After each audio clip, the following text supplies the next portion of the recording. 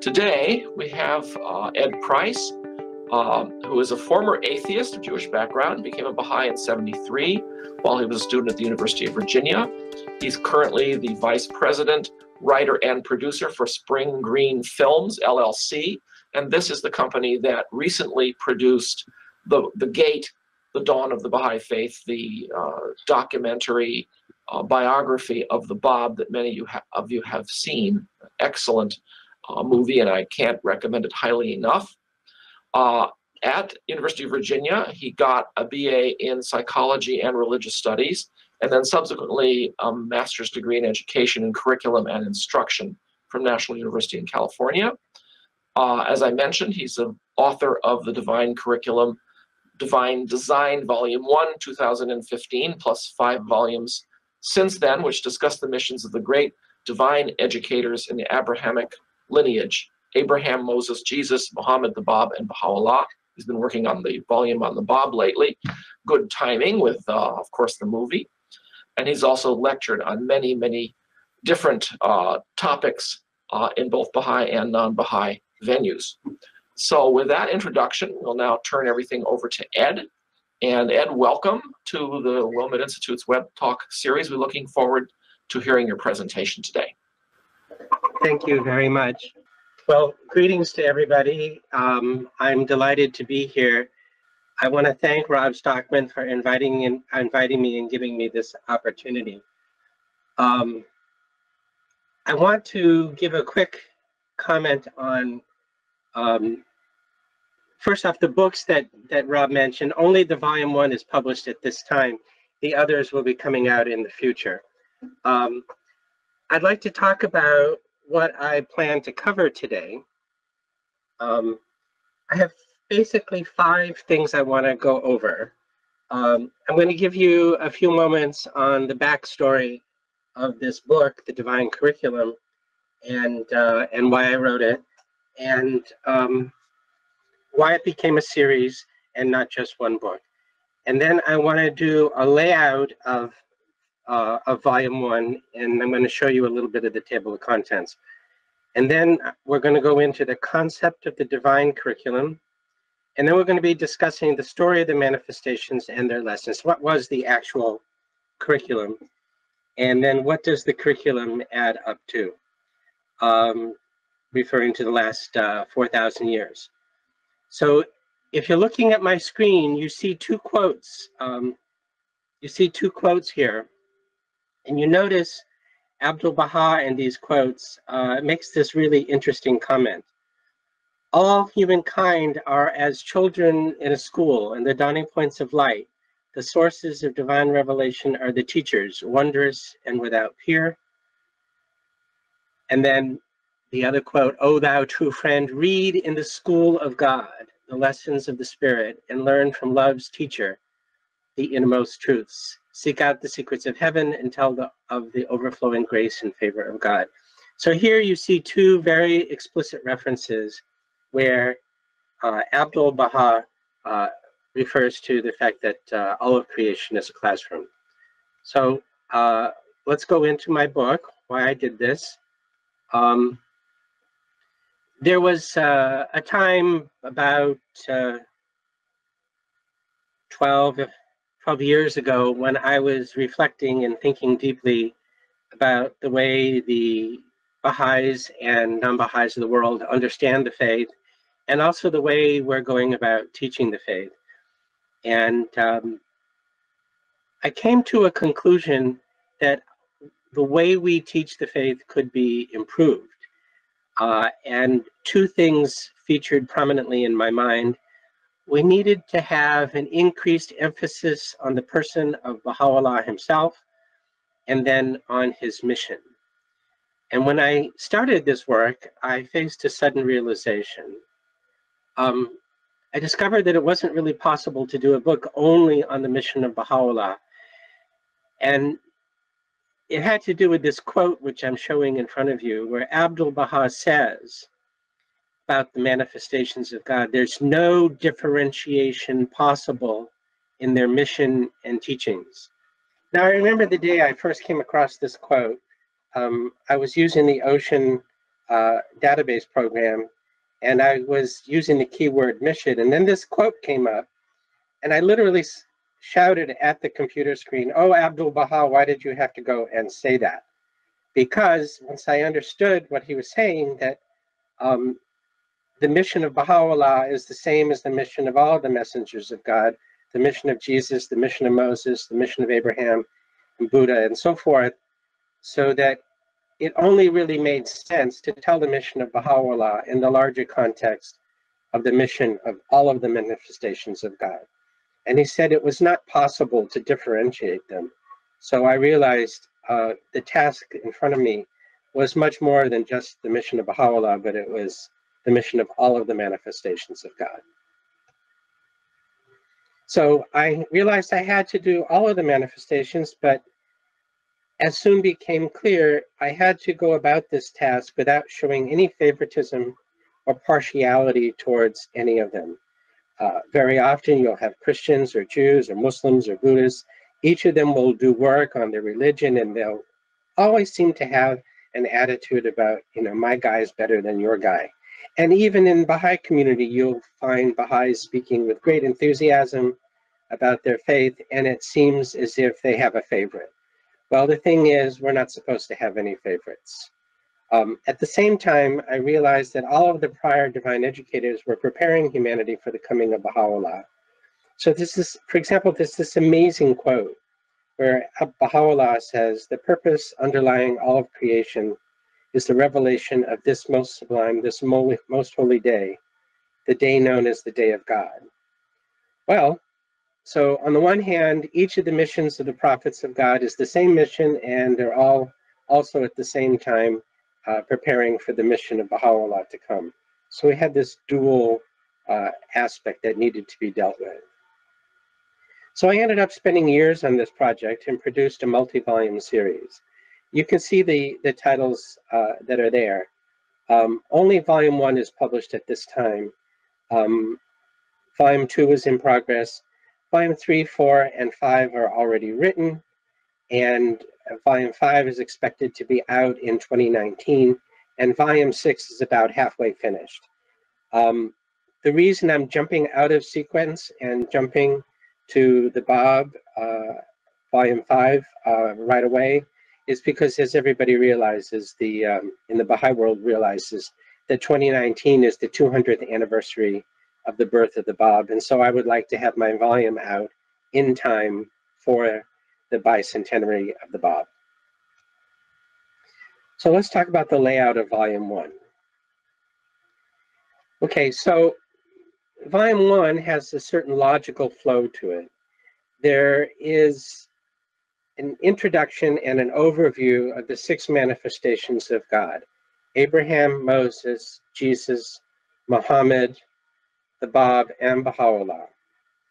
And each of these overview chapters provides sort of a helicopter view, high level view on what each of these manifestations of God have done. So um, let me click on this for a second going to open up. There we go. So I've gone to my table of contents. And so you should be seeing my Word document here. And so like for Abraham, there's the introduction, there's mission and teachings, what happens after Abraham, and the stature of Abraham in which we discuss the um, contributions of Abraham to divine civilization and to the divine curriculum. And you see all of the chapters are structured this way. The intro, the mission, afterwards, and then the stature. With the exception of the Muhammad chapter, because of what's gone on in the world in recent years, I added two sections before getting to the introduction, which enables us to separate the ideology of the extremists from the true faith of Muhammad. And so that's that was a very important six or so pages in which uh, the reader can really separate out one from the other. Other than that, the pattern remains the same, then the Bab and Baha'u'llah. Okay, so go back to the slide. So if you're going to write a book on the divine curriculum, it seems pretty smart and wise to say a few words about what we mean by curriculum. So I had a chapter uh, actually two chapters on what do we mean by curriculum and what would our guess be if God is the one designing the curriculum, uh, what would be the characteristics of the curriculum? Of course, none of us knows the thinking of God, so this is uh, significantly uh, speculative.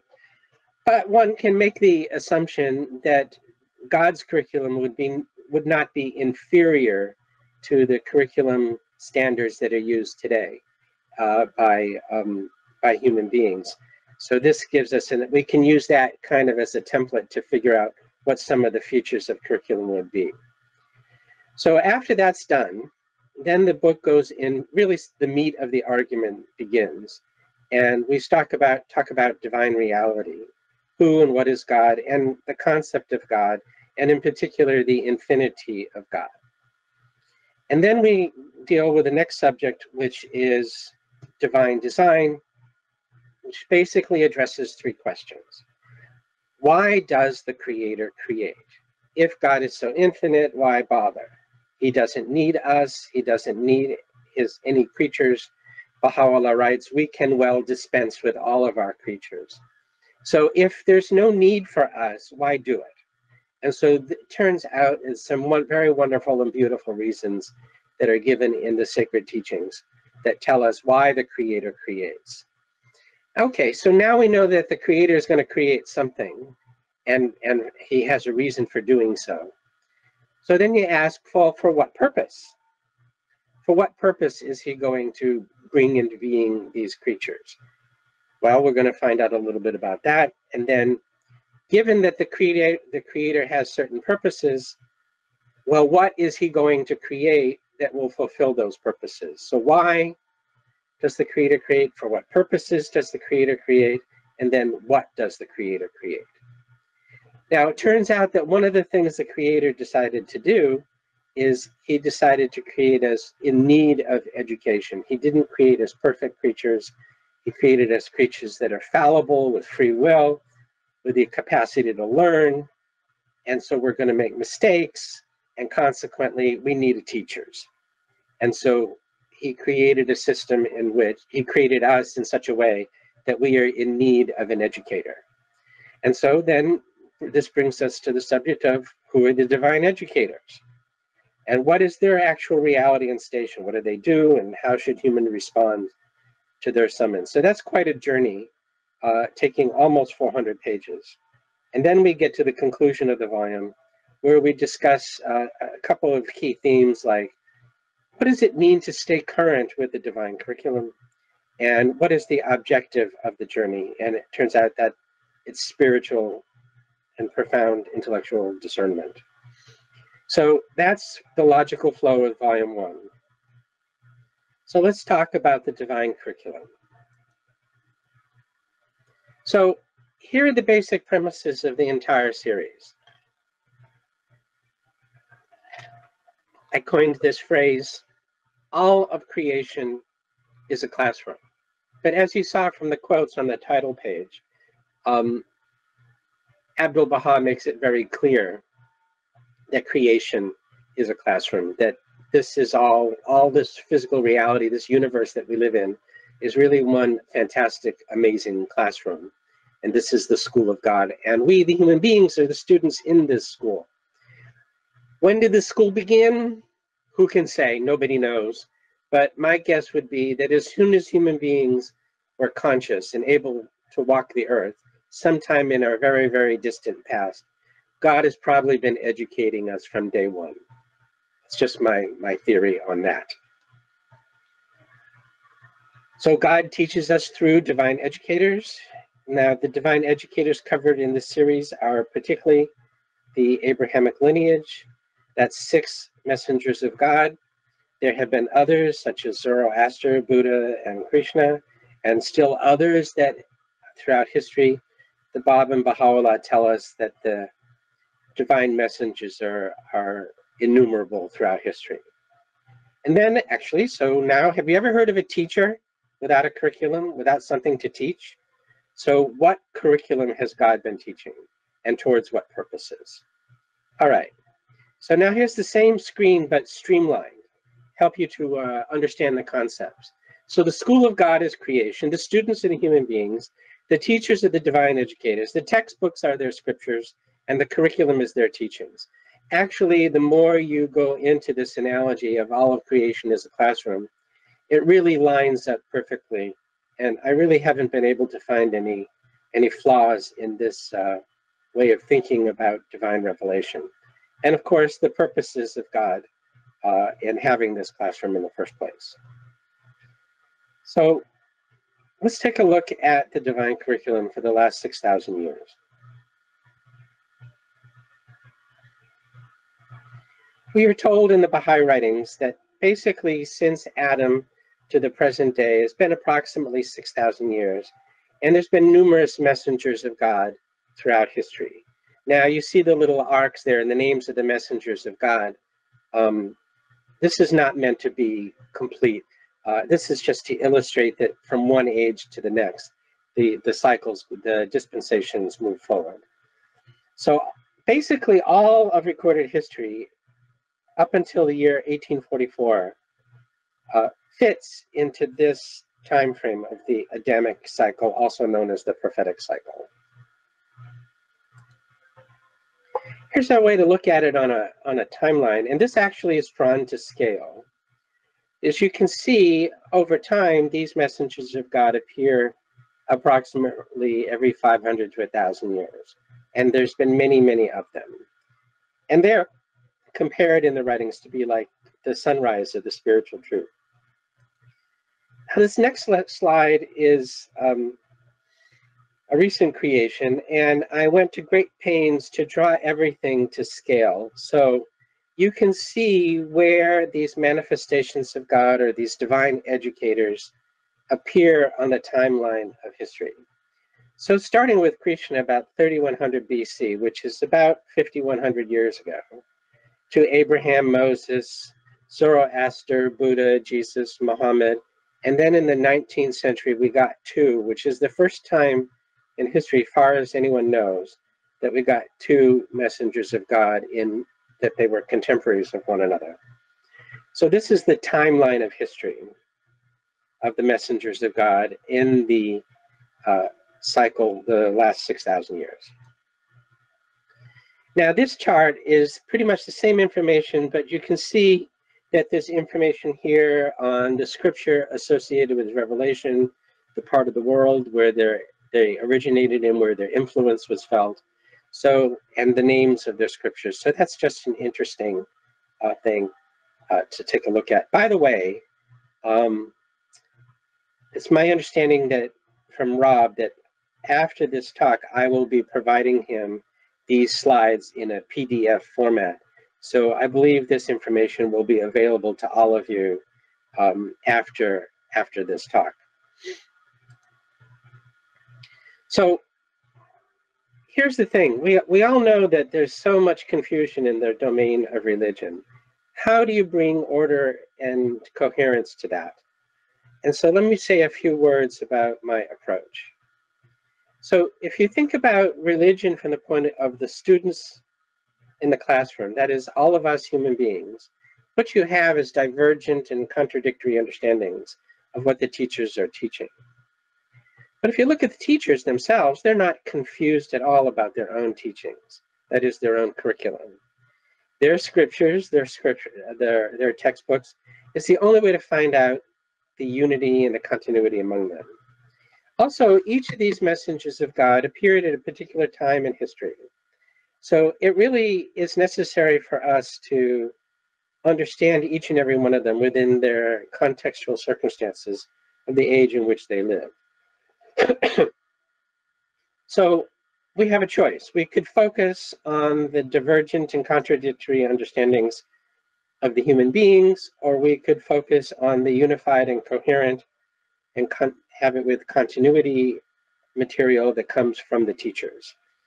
So in order to find the, the unity in these religions of the world, I wanted to, I found it was necessary to focus on the what I call the divine side of religion, not as much on the human side. And so inspired by the faith, I treat them all with um, uh, even-handedness. So one of the phrases that we find in the Baha'i writings that describes the approach to the faith is the continuity of divine revelation. The actual phrase progressive revelation doesn't show up in the writings that often, but Shoghi Effendi just describes, for example, what Baha'u'llah is talking about as the continuity of divine revelation. That the divine educators are all teachers and the faculty of the school of God, which is all of creation. They're working together, not in competition. Also, everybody is aware of the fact that the religions have great differences from one another. So there's similarities on the one hand, and there's differences on the other hand. There's unity and there's distinction, constancy and progression. So it's so very interesting to see how they fit together. Uh, Abdul Baha has made this really, really interesting statement. In every dispensation, the light of divine guidance has been focused upon one central theme. We're going to be thinking about this quite a bit during this talk. So here we are again, where Abdul Baha says that we have a need for an educator. Were it not for the coming of these holy manifestations of God, all mankind would be found on the plane of the animal. They would remain darkened and ignorant like those who have been denied schooling and who have never had a teacher or trainer. So God does not want us to be um, uneducated, uh, uh, brutal, or uncivilized. So he's provided us divine teachers and he's instituted schools among civilization. But without it, we would be little more than animals. As to the divine educators, they are to be understood as the mirror of God, reflecting God's beauty, his might, his glory, his own self.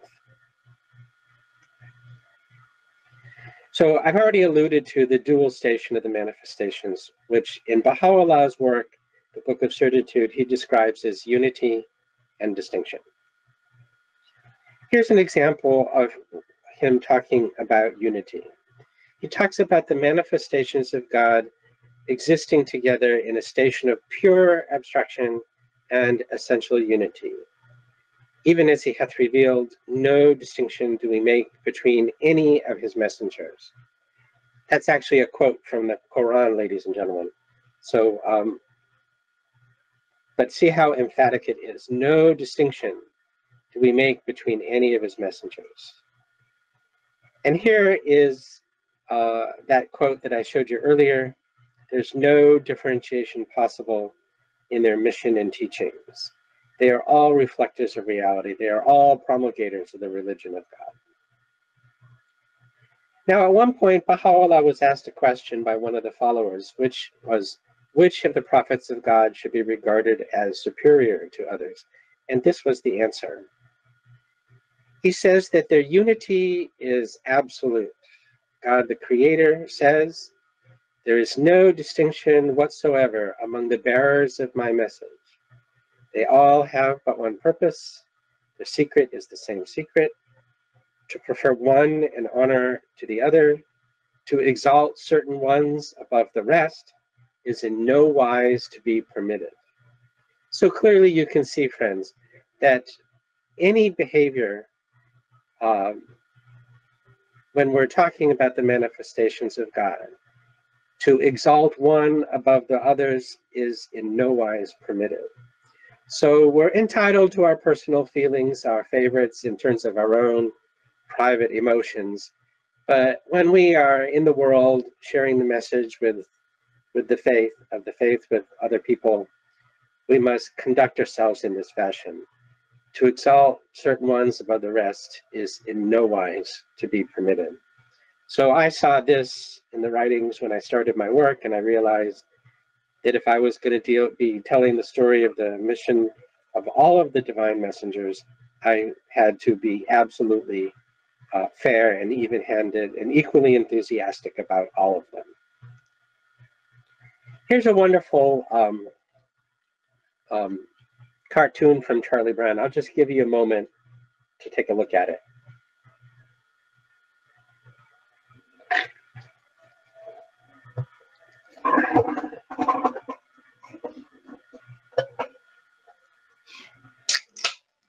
I'm pouring myself a little drink while you're reading. So it's so interesting. If we're looking at the sun, it seems so obvious that it's one sun. But Lucy here seems to not quite get the point. And this is kind of kind of the way the conversation goes with people when we uh, try to explain that the divine messengers are like the sun of truth and it's all one spiritual sunrise. So now we must pay attention to the station of distinction. Each manifestation of God hath a distinct individuality, a definitely prescribed mission, is characterized by a special attribute, fulfills a definite mission, and is entrusted with a particular revelation. So this tells us that there are, in fact, distinctions to be made. Um, so there's the oneness of religion, which is very, very important, which is uh, a very profound teaching. But at the same time, we must not be naive, we must not be foolish. We must give full acknowledgement to the fact that there is also this distinction. So take a look at this from the point of view of a jigsaw puzzle.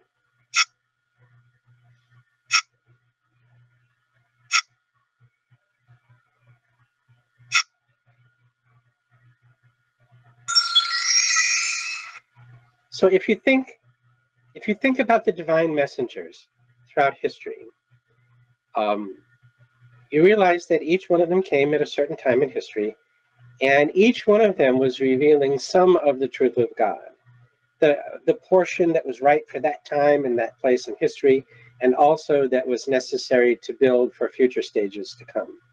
So each each piece of the jigsaw puzzle sets the stage for the ones to follow, and each piece that's put in there builds on what was revealed by four. Each part reveals, each, each piece reveals part of the total picture. The pieces are different and yet they are quite similar in their characteristics.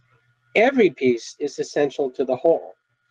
So if you're a Baha'i today, do you read only Baha'i writings? No, you read the Old Testament, the New Testament, the Quran, the Bhagavad Gita, and so on. You read all of the scriptures because every piece is essential to the whole. Once again, no distinction do we make between any of God's messengers. On the other hand, the message of Baha'u'llah is the most recent one, so it speaks to the age in which we are living, so we definitely should be paying attention to that as well. So here's a statement from Shoghi Effendi where he talks about the continuity of the revelation how their their revelations correlate with one another, their books correlate with one another, and they basically had the singleness of their aims and purposes.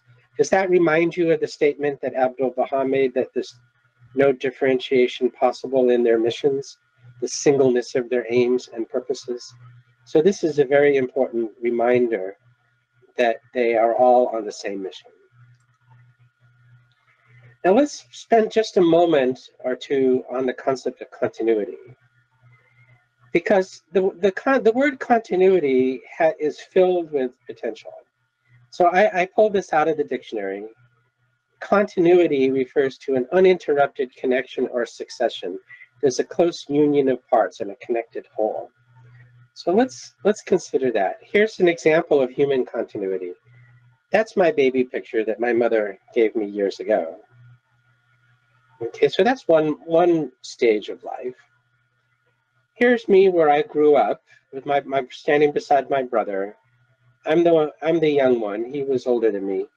And um, I don't look like the baby anymore. I'm different. Here I am on my the day I graduated from high school, and that's my older brother. He's changed too along the way. And then here's me with my wife and my daughter when she was eight years old and we were at a very important uh, gathering that day, and we took this uh, very memorable photo. So, a baby, a boy, a youth, a man, every stage is unique. Every stage looks different, and yet this is just one living person. This illustrates how unity and distinction are both implied by the term continuity. So now let's take this idea of continuity and apply it to the revelation sent by God. So first off, we got to keep in mind, now this is a graphic I created. It's not authoritative, it's just my own interpretation. We would be expecting the divine curriculum to pursue the goals that God has for all of creation. So the purpose of divine revelation would stipulate what the goal of the divine curriculum is, and the goal of the divine curriculum would be keyed towards the purpose of man's creation. And of course, the purpose of man's creation would be keyed towards the purpose underlying all of creation. And of course, the purpose underlying all of creation would feed into both the purpose of revelation and the goal of divine revelation. So you see, these aspects are all interconnected with one another. But the most important thing to gather here is that the goal of the divine curriculum is going to be targeted towards the purpose of man's creation and the purpose of all creation. Does that make sense? Okay, so here's what Baha'u'llah says is the purpose of creation. He says, having created the world and all that liveth and moveth therein, he will, through his unconstrained and sovereign will, confer upon him the unique distinction and capacity to know him and to love him. And that he says that this capacity is the generating impulse and the primary purpose underlying the whole of creation. So if this is the reason for creation, well, let's ponder for a second. What does it mean to actually know something? Um, does a computer, with all of the information it has on its hard drive and storage, does it have knowledge? Does it know anything? No, not really, because it's just an automaton. It's just um, a, a machine. It has no consciousness. It has no self, no identity, no thoughts, no memory, no capacity to reflect. And most importantly, the computer has no free will. So it cannot choose to learn, it cannot do anything other than what it's programmed to do. So if we understand what knowing means, we realize that free will is necessarily implied. Now, as to loving somebody or something, can you imagine a, ro a romantic love that um, was uh, forced, that was programmed, if my computer, when it boots up every morning, says to me, Edward, I love you, should I get a warm fuzzy over that because the computer is saying, I love you? Well, no, not really, because the computer is, again, it's just an automaton. It doesn't have a consciousness. It doesn't have the ability to choose, to, to give its love freely. So once again, to actually love something uh, implies the necessity of free will. So it, I would make the argument that to know God and to love God necessarily implies that we must also be able to choose God. So I think of this as knowing, loving, and choosing God. So throughout history, there has been a divine curriculum taught to us through the different messengers of God. Each has had a certain emphasis along the way. Remember this quote from before, in the, the light of divine guidance has been focused upon one central theme in every dispensation. So now here we are back to the jigsaw puzzle. And we see that beside each name is a summary of what each of the manifestations of God has taught humanity.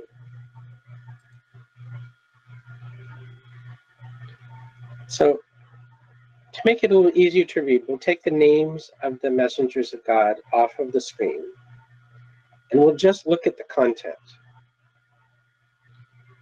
And what I'm suggesting to you is knowing good and evil, law of God, the oneness of God, being able to fulfill your duty, the advent of the of the promised one, submitting your will to God, learning how to overcome suffering, knowing the kingdom of God and loving God, all of these things together, quickening and uniting the world, establishing God's kingdom on earth. If you take all of that together, it seems to me a very good curriculum that will take you to the objectives, which is to know God, to love God, and to choose God. And it's very also very important to recognize that the divine messengers are not in any way competing with one another. They're like members of a faculty. They are team members on the in the huddle on the football field or whatever metaphor pleases you. The divine messengers are completely cooperative, completely working together, loving each other, honoring one another, speaking well of one another, preparing one for the other, the next one to come. They are all integrated and harmonious. And Baha'u'llah makes this very, very clear with this statement. He says, Behold them all, abiding in the same tabernacle, soaring in the same heaven, seated upon the same throne, uttering the same speech, and proclaiming the same faith. But remember, each one is performing a particular function in history as well. So they're uni- they have their unity and they have their unique contributions as well. They're they're very much the same, and also they're very they have their differences as well. But differences and similarities combined, you put it all together, they're pursuing the objectives of the divine curriculum from century upon century, millennia after millennium. So let's spend a moment on what they all taught. So if you look at what Adam brought to humanity, like if you go to the story of Adam and Eve in the Bible, and also as told in uh, in the Quran, what we actually see in the story of Adam and Eve is the emergence of humanity from its animal condition. The, the idea that there's you have to have a conscience for your actions, that you're held accountable as an individual, that you, you have intellect, you can commit sins with your free will if you so choose. You have a soul and you're responsible. And as the story makes quite clear, you're very, you're very much going to be held accountable. So if you think about it for a second, um, if you watch a lion in the savannah jumping, pouncing upon a deer and killing it and slaughtering it, has that has the lion committed a sin? Well, it's done something brutal, but even that really doesn't apply because that's like a value judgment. Has the animal done anything that it shouldn't have done? Has it committed a sin? I think we would all agree that the answer is no, because it's just acting according to its nature. But a human being doing something similar to that is is uh, barbaric and sinful and horrible. It's because human beings are not the same as an animals. We have intellect, we have conscience, we have free will. So we are thereby to be held accountable. So the story of Adam and Eve, whatever the other attributes of the story might be, in my mind, one of the major takeaways is that the story of Adam and Eve is helping us to understand the emergence of the human condition, the beginning of that 6,000 year cycle of divine education. It's really the promotion from being animal like to being a human being now. So we get to Noah. Noah gives us more, uh, more of a treatment on uh, choosing good versus evil. And of course, the, the sinful people got washed away in the flood. The Bible says they thought only of doing evil every day. And but Noah and his family were saved because they were good people. So the story of Noah is about uh, choosing to do the good. Abraham, some centuries later, comes along, and his contribution is very, very interesting. Actually, Abraham, I'm kind of kind of contradicting myself. I, I kind of do have a favorite. Abraham is one of my favorites because I love the way he teaches the oneness of God. He fights against idolatry. And I think the story of the near sacrifice of Isaac um, reveals that uh, the Jewish people, the Hebrew people at that stage, um, they were going to value and treat sacred human life. So do not harm the boy, do not sacrifice him as an act of worship. Um, hold human life sacred and don't do that anymore. And so Abraham instituted this establishment of the oneness of God, the fact that we get our sense of right and justice and good from God, and also he established the sacredness of human life. He's a wonderful, wonderful figure in history. Moses continues the education about the oneness of God. He is, continues developing the idea of the covenant with God, which means you enter into a contract with God. He continues fighting idolatry, and which is the worship of a false god. And um, most significantly, Moses introduces the law of God. We all know this as the Ten Commandments and the many other commandments of the Torah. So some more centuries go by and Jesus appears and he begins to educate humanity about the kingdom of God, both on earth and in heaven. And he teaches us about the afterlife, the importance of salvation, the being born again and the Holy Spirit. And he teaches us to love, love God and to love our fellow man. So I was running out of space on my PowerPoint slide, so I'm only mentioning one thing about Muhammad. Muhammad is not well understood in the Western world, but he teaches uh, the word Islam literally means submission to the will of God. The word Muslim literally means one who submits to God. The word Allah in Arabic literally means the God. So Muhammad was teaching the same God that Abraham and Moses and Jesus taught about. And Muhammad's teaching was Islam, submission to the will of God. So now we come to the Bab in the 19th century. The Bab and Baha'u'llah, actually, they teach many, many beautiful things. Um, my new volume on the Bab coming out next year will have an extensive section discussing the teachings of the Bab. But briefly, the Bab talked about how the beauty of God's revelation is reflected in all things. So everything in creation is a sign of the revelation of God. God does not come down and become embodied into the stone or the tree or the piece of wood or whatever. He's not in the objects. But the light of the Holy Spirit shines on everything and the beauty of God, his qualities and attributes, is reflected in all things. Bab also taught the importance of seeing the underlying oneness and unity of all people and of all things, and seeing the light of God in everybody else and in yourself as well. So he refers to this as the perspective of unity.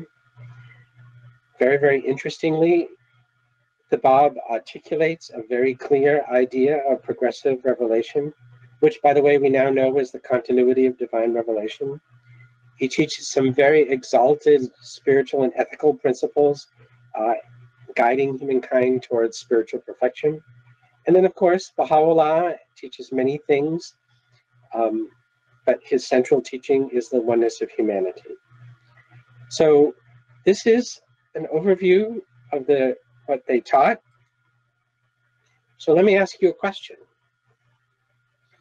Does this look like a fairly comprehensive spiritual curriculum to you? If you learn to do all these things, knowing God, obeying Him, loving Him, submitting to His will, reflecting Him in all that you say and do and think and feel, and if you are uniting with all people, would your material or animalistic nature be under control, under the control of your spiritual nature or not? So age to age, the continuity of the divine curriculum requires these similarities and these differences, this unity and distinction. The light of divine guidance was focused on one theme, but over time, on one theme in each dispensation, but over time, an entire curriculum has been taught to humanity. So here we are, 6,000 years after this process in recorded history has begun. Of course, God has probably been teaching us into the far, far, far distant past. We've only been telling the story of the last 6,000 years. But after 6,000 years or 4,000 years since Abraham, uh, what did it all add up to? So Abdul Baha has a few things to tell us. He says the mission of the prophets of God. Notice how he speaks in the plural here. It's not the mission of this prophet or that prophet. It's the mission of all of them. The mission of all of the prophets of God has been to train the souls of humanity and to free them from the thraldom of natural instincts and physical tendencies. So, if you know what the word thraldom is? It means like slavery. You are under its control, under its influence, not free to choose for yourself. The thraldom of natural instincts and physical tendencies. So, the mission of the prophets has been to train humanity to rise above our physical instincts and tendencies. Course, as we've been covering, it includes, this process includes knowing, loving, and choosing God. This involves elevating the soul above your own selfish interests. Very, very interesting. In the Baha'i writings, evil is described as the insistent self. We don't believe in a separate, independent personage with red skin and, you know, uh, horns and a pitchfork. We don't we don't believe in a personification of evil. In fact, that the evil that exists is within each and every one of us.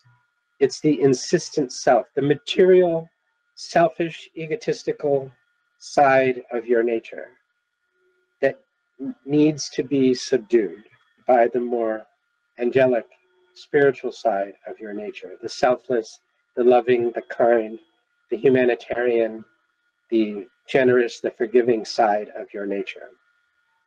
So the divine curriculum has literally been to conquer evil, that is to say, the insistent self, which is the real source of evil, and to make us more heavenly in nature, uh, to make human nature more heavenly. And this, of course, we can understand on a collective level, brings us to God's civilization on earth. Another word for that phrase is, uh, Baha'u'llah uses the term the all glorious kingdom. And of course, from the Old Testament and the New Testament, we know this as the kingdom of God on earth. So the divine curriculum has been heading all of us, all of humanity, in this direction certainly setbacks, but compared to the brutality of human sacrifices and, and idolatry six, 4,000 years ago, consider the great progress that humanity has made and continues to make, despite the problems we still have today in the world. So a little bit more on this notion of the insistent self. Here are some writings and I'm not going to read them word for word because you'll have the PDF later on. But you see here that the, it's referred to as the promptings of self and desire and the dark side of human nature.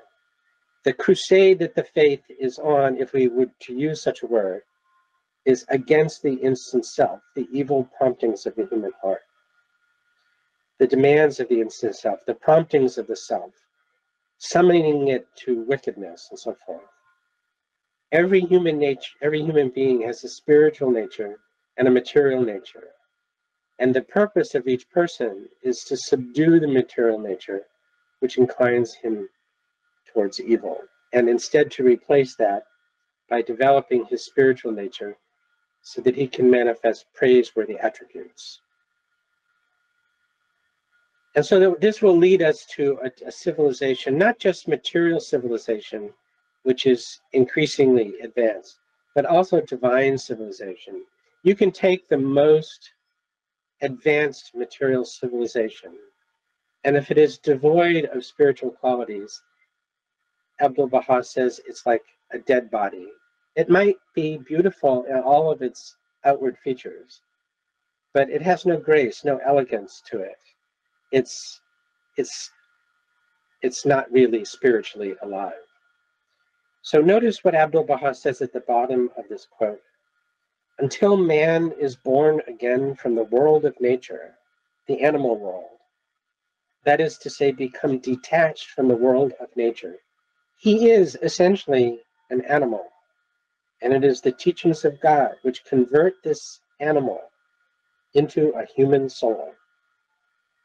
So the divine curriculum has been driving humanity in this direction, both individually and collectively, ever and ever larger groups of unity from tribes and cities, all the way up to nations, and now the possibility of creating an angelic civilization for the entire planet. So here's an interesting perspective. So this actually is drawn to scale.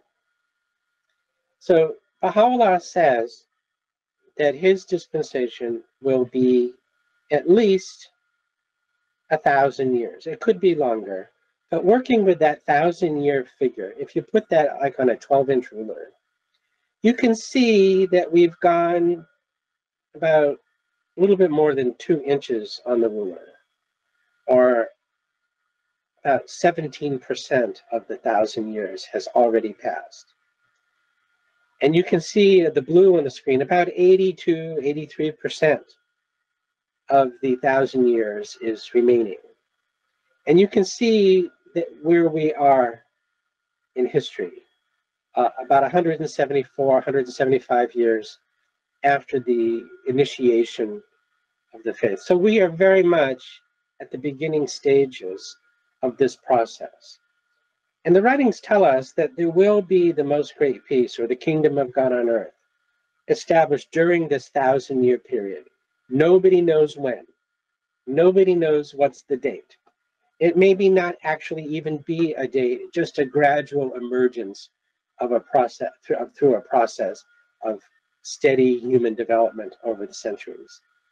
But at the end of this thousand years, before the next manifestation of God appears, what we will see is indeed the, mount, the establishment of the most great peace, the coming of age of humanity, and the full conversion of the animal man into the angelic human soul. That's the mission, that's what the divine curriculum has been aiming us towards for 6,000 years. And now, in this thousand year period, it's actually on the table. It's not a future hope, it is now a realization in progress. And during this thousand years, it will be fully realized. This you know, people may agree or disagree as their own personal opinions, but what I'm saying is my understanding of what the Baha'i writings are teaching.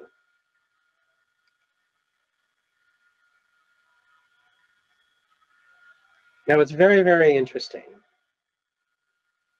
is that this 6,000 year period is known as this Adamic cycle or as the cycle of prophecy.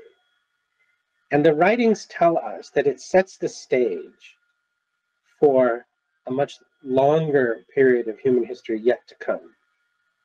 If you can look at this graphic, you can see where we are. We are in the early stages of the dispensation of Baha'u'llah. And there are many more divine messengers to come in these thousand years. And what's very, very interesting is that the writings of the faith imply that, uh, I don't know about that screen, I'm going to move on. The, the writings of the faith imply that once this divine civilization is established on earth, that really turns out to be the beginning of human history. Look at the second bullet point in this quote, where Shoghi Effendi is talking about this future time when the full potentialities of the divine curriculum in Baha'u'llah's revelation will be fully realized. And he says at that time, the earth will be acclaimed.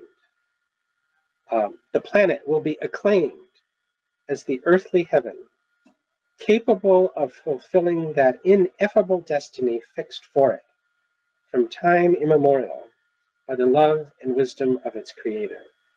So this is just a hint in Shoghi Effendi's writing. This is just uh, a tantalizing glimpse that even after the establishment of God's kingdom on earth, there are extraordinarily amazing, unimaginable, fantastic things yet to come for humanity.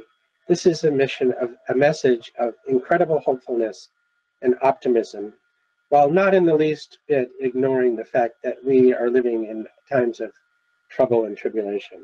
But the long-term future of humanity is assured and it's dazzlingly bright. So by pursuing and supporting the divine curriculum, we in our lifetimes, we get to contribute, however small our share, towards the movement of humanity towards this ineffable destiny. The word ineffable is very interesting. It refers to a truth that cannot be expressed in human words. There's no words for it at this point. So I come to the conclusion that the 6,000 year period of human history has really been a period of preparation. Everything we know of human history so far has been getting us ready. Ready for what? Okay, the dispensation of Muhammad was the last one of the Adamic cycle. When Muhammad's dispensation ended, the Adamic cycle ended because it was succeeded by the dispensation of the Bab, which term terminated the Islamic dispensation and it terminated the Adamic cycle.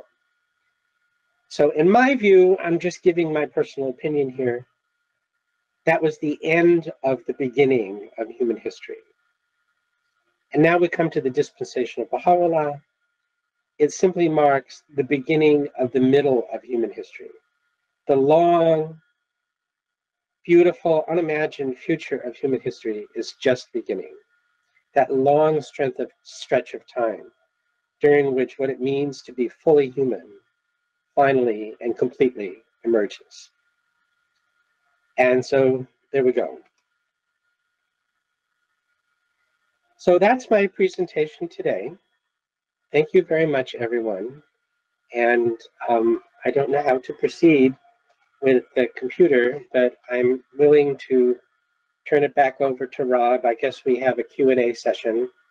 But anybody who wishes to uh, speak with me um, my email is there, my phone number is there, and I would be happy to uh, be in communication any of you if you want to discuss these important themes um, going forward. Thank you again.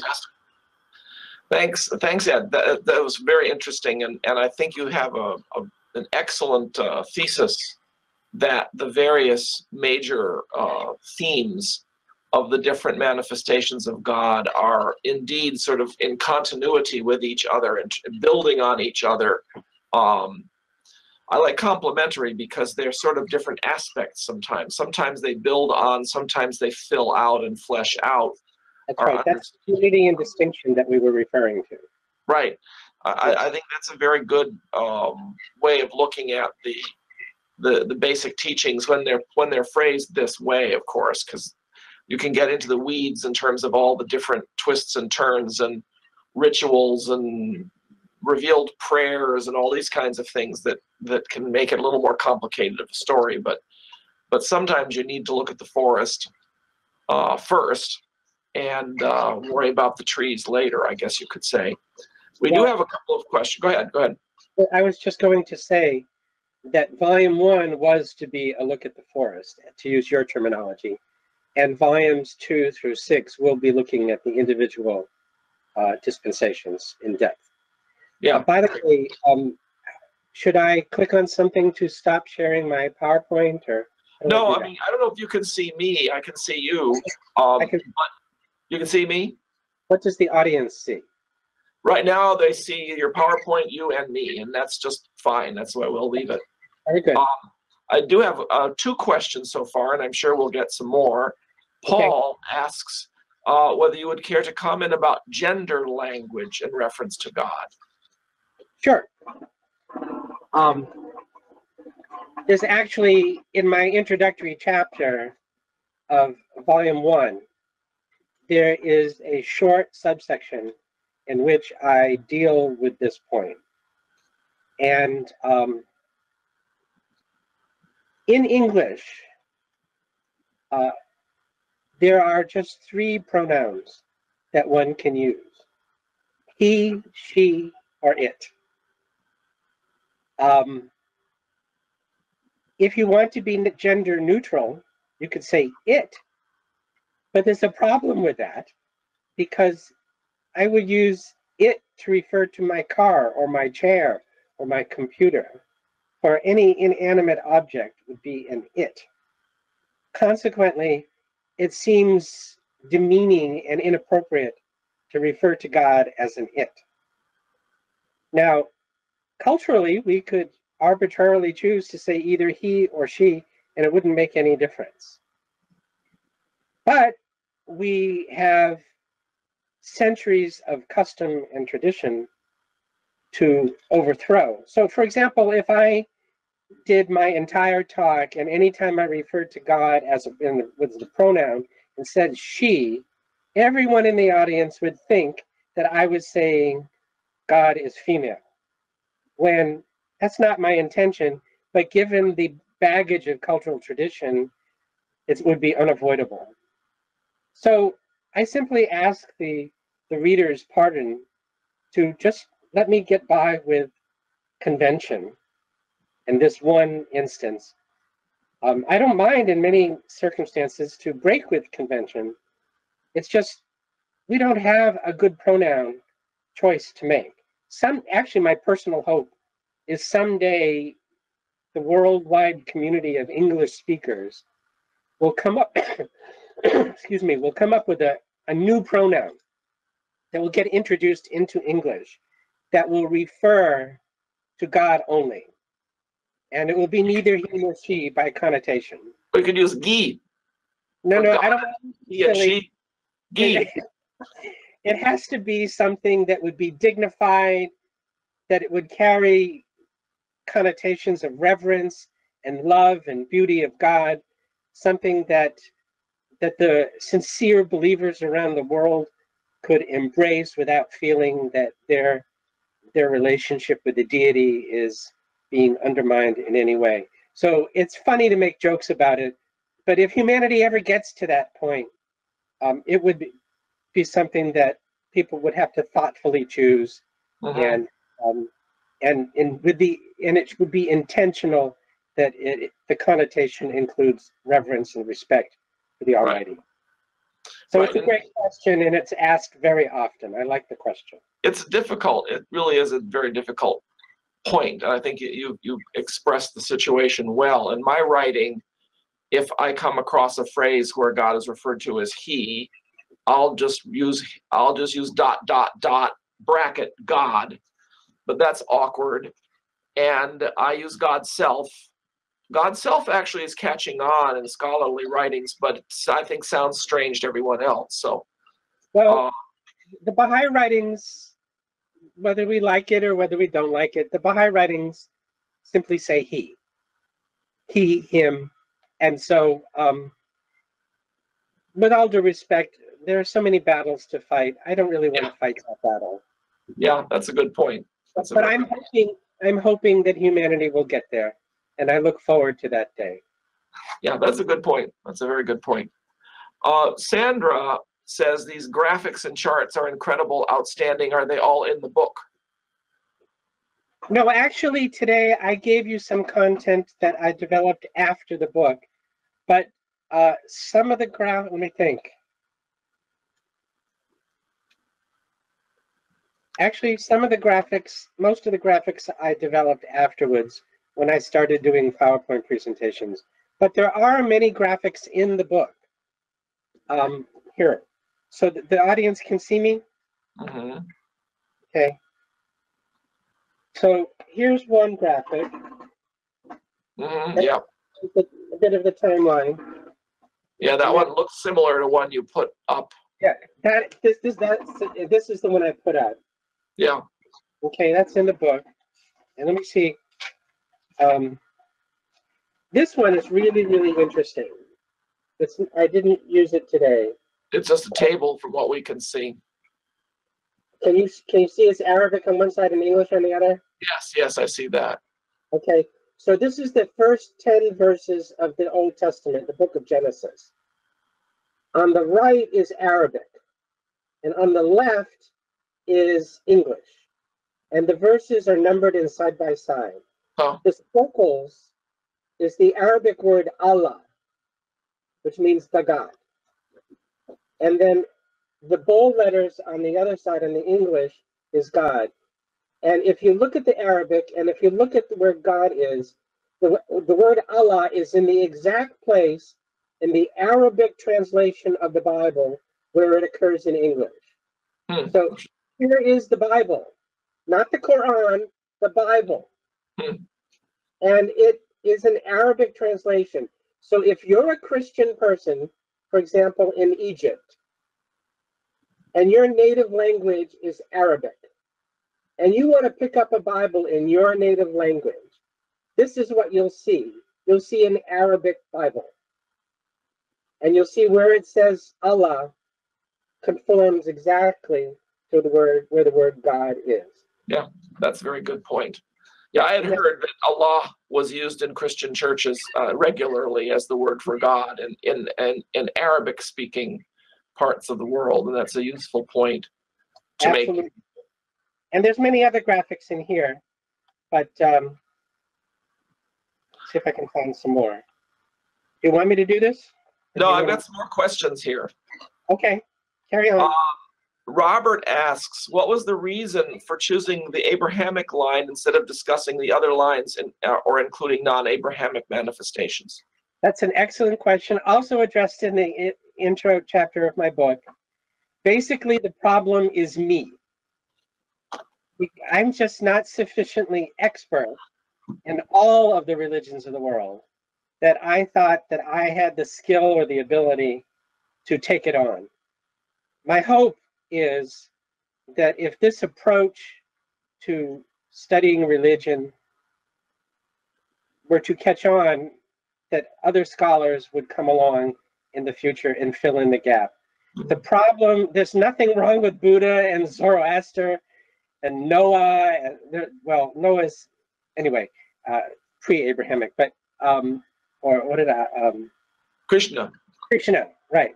Krishna is in the charts. I, I show it on the timeline, but um, Krishna, Buddha, and Zoroaster, I just personally, I'm just not smart enough. And so I didn't want to take it on and I didn't want to mess it up. Sure. So I just chose a, a line that I felt I could handle with competence and ability. And I leave it to the audience to decide whether I did that or didn't do it. Yeah, and I think where Krishna is concerned. It's my my shortcomings. sure. Well, I think where Krishna is concerned, it's very difficult to know what to do with Krishna. You've got Krishna in at 3000 BCE, and I would say he's, if he existed at all, he's more like 700 BCE. Um, the the texts of the Bhagavad Gita exist in a language that didn't exist 5,000 years ago. Uh, the Indo-European speaking people weren't in India then; they were probably in Central Asia or Turkey. So, um, I should there have talked to you when I was researching my book. Huh? I should have talked to you when I was researching my book. Well, this is a, a, a huge historical problem when you get anything before a, even Moses, Muhammad. Uh, the the error brackets on the dates of the manifestations get bigger and bigger and bigger. You know, um, Zoroaster may have been 1500 BCE. It may have been 1000 BCE. It may have been 450 BCE. Uh, Buddha is plus or minus about 150 to 200 years. Abraham about 200 years, plus or minus. Moses about plus or minus 100 years. Um, is it becomes very difficult um, to pin Just these. Just let the audience know, I did try to do my homework, but I certainly don't claim to be infallible. And if I made mistakes, let me just apologize. These are always these are very difficult decisions to make. Actually, historically, it's hard to know what to do. I did what I could. Yeah. Thank you. Um, Don asks, um, may we be free to use and adapt the content of your PowerPoint presentation? How can we get the PowerPoint in PowerPoint format? I'm not making that available at this time. Yeah, we'll, we'll put it up as a PDF. in PDF. And if somebody wishes to design their own PowerPoint slides, with all respect to the audience, this is copyrighted, you know, it's, I, I'm producing, it, it has a copyright to it. Yeah. So, but if you, it, it, I'm sharing the slides in PDF format. And so if somebody wants to sit down at their computer and be inspired by a slide that I made and come up with their own, it's totally fine. Sure. I hope Um, I don't offend anybody with that, but you know, No, that's, that's a perfectly legitimate point, and, and, you know, the Wilmette Institute wants to remind people of exactly this, is that we're providing information, but sometimes the information is copyrighted, and people need to remember that and respect it.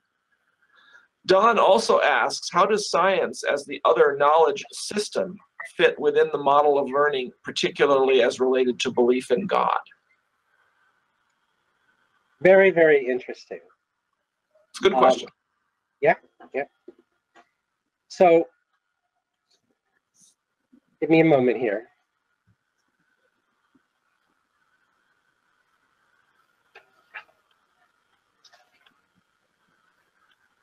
Okay, there's, I wrote down, uh, page one thirty-nine.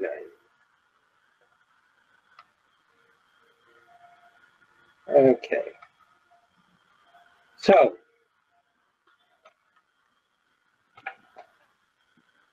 let me see. How do I do this? All right. So, chapter 14, Yeah, is that good? Chapter 14. In this section, which was the section on divine reality, I describe a variety of characteristics about God. Okay. First off, in this section, I identify the oneness of God as the starting point for any analysis. And then I dealt with a question about controversies among the religions. Does everybody have the same God or not? Obviously, you know from having heard my presentation, the answer is yes, but I discussed that in the book and the controversies. And then there's one, two, three, four chapters in a row which single out specific attributes of God. The first one is the personal God. So God personally is involved in each and every one of us. The prayer hearing, prayer answering God. Chapter 14, which I just showed you, is the God of history. I'll come back to that in a second. And then the final one is that he's the creator of infinite worlds. So that's chapters 12, 13, 14, and 15. So in chapter 14, I explain, what is my camera? I explain that God is the God of history. So what does that actually mean? So from one point of view, whenever God sends a messenger of God into human history, that is absolutely God intervening into history. And this is one of the key themes of the Old and New Testament that not just that there's this powerful God out there somewhere doing something that we don't know what that was. Actually, from time to time, God gets involved with human history by sending the messengers in the first place. So that's not answering the question about science yet, but I'm getting there. okay, But the other part is that God is the creator. And God is the creator set up the universe to operate in a certain way. He in in theory, as far as our human minds can grasp, he must have had an infinity of ways of setting things up. Well, the universe that we find ourselves in, it was what he decided upon. Gravity, light, energy, space-time, all that stuff, right? And so literally speaking, God is the author of all of the natural laws. This is not a new idea, by the way. This goes back to. Jewish and Christian thinking. The Muslims figured it out. You know, lots of people have understood that if you're the creator and if the creation has laws by which it operates, that it was God that put those laws in place in the first place. So there's a section in my book where it's down at the bottom of the page there. It says God established the natural laws. I see it. Yep. And then God sustains everything he created through the power of the Holy Spirit, whatever it is, he guides and everything. Anyway, so God, God guides individual people. And then here's something very, very important. God has set a goal for history. History is uh-huh. going somewhere. It's not, from the Baha'i point of view, it's not random. Certainly, we human beings exercise our free will, but through the influence of the messengers, God is going somewhere. So now let's come back to the natural laws. So, from the point of view of the Baha'i teachings, uh, when we study the natural universe, we are studying a book, a book that was revealed by God. It's the book of nature, as the philosophers of old have referred to. Guys like Newton and Kepler and Copernicus, they were all into this. They loved the idea of the natural world as the book of God. Kepler, when he figured out the orbital routines of the planets, he said he was reading the mind of God, stuff like that. So. Whoever, whoever thought God was going to use ellipses instead of circles, but God didn't. so, so from the Baha'i point of view, uh, we absolutely are in harmony with the idea that science is a way of knowing uh, what what God's intentions have been and are. Um, we don't agree with the pure materialists who say that there's no goal or end purpose in sight, that, that it's not going anywhere. Um, we observe the same as the biologists do, the gradual emergence of complexity. So that's, we're fine with all that. Mm-hmm. But, uh, but we do believe that there's a goal for history. And that's what my talk was about, discussing the goal of history is ultimately the divine curriculum is taking us to um, the establishment of the kingdom of God on earth, when it, which in itself is merely the launching pad for who knows what wonderful things to come. Yeah. So, um, does that answer the question? I could meander on a little longer. I think, I think more or less, yes. It, it relates science to the divine and, and physical nature to the divine quite well. Actually, I'm gonna. I want to say one more thing. I just thought of one more thing. It's really interesting. Um, the uh, give me two seconds here. There is a section in my book where it was just very relevant. I discussed the Copernican revolution. Right. That's, that's part of the story of all creation being a classroom. But that's and there's a thing about Mars, the retrograde Mars, the lady that asked about uh, graphics. Um, um, there's a thing in here about the anthropic principle having to do with um, how physical reality seems from the very moment of the Big Bang uh-huh. have been fine-tuned for the eventual emergence of life of life uh, and complex life. And there's some, a number of pages where there's a wonderful exploration of this concept of the anthropic principle. But, but then there's another section in here when we're talking about what the creator creates, where I bring out, where is it? Okay, the definition of the human being. And this brings me to a discussion of the, whoop, I can't get this right, I'm reversed. Mm, there we are, okay. There you go, creation versus uh, evolution debate. Right, and I talk about in this section, the evolutionists, the young earth creationists, the old earth creationists, the intelligent designers, and the category that I would like to raise my hand to be a part of is called the mature monotheist. Mm-hmm. That's that's what I aspire to. I want to be that. Anyhow, good. sounds good. and um, but there's a surprising conclusion. It turns out that the evolutionists and the creationists, and I'm talking particularly about the young earth creationists, they actually fundamentally agree on a very, very most central point is that the reason they're having an argument at all is because the definition of a human being that they adopt, both of them, is the human body. Yeah. They define humanity as the body. So the, the evolutionists, of course, you'd expect that from them, but the creationists defining human reality as the body kind of misses the whole point about being made in God's image and Right. you know the spiritual reality of man. So this is fun page here. They both they both define the human being as the human body. Yeah. But then Yeah. So you don't have to worry about evolution because it hasn't changed in a few thousand years, kind of thing.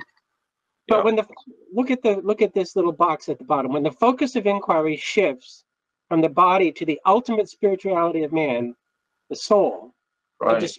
over the origins of the human body becomes irrelevant. Yeah. That's a good point. It's a very good point. Anyway, it's a wonderful subject and it should be explored more. Right.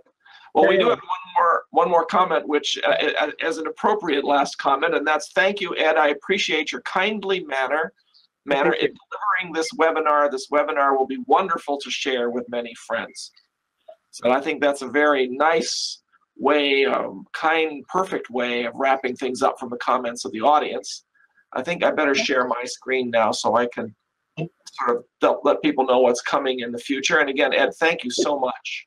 Well, I had a wonderful time and um, I, I feel honored that you asked me to do this. And if I can ever do this for you again, you know, um, raise my hand. I'd love to do it. We'll keep that in mind. We've got uh, lots of, uh, we've had some really excellent presentations in the past, and I can certainly count yours among that list. Thank you so much.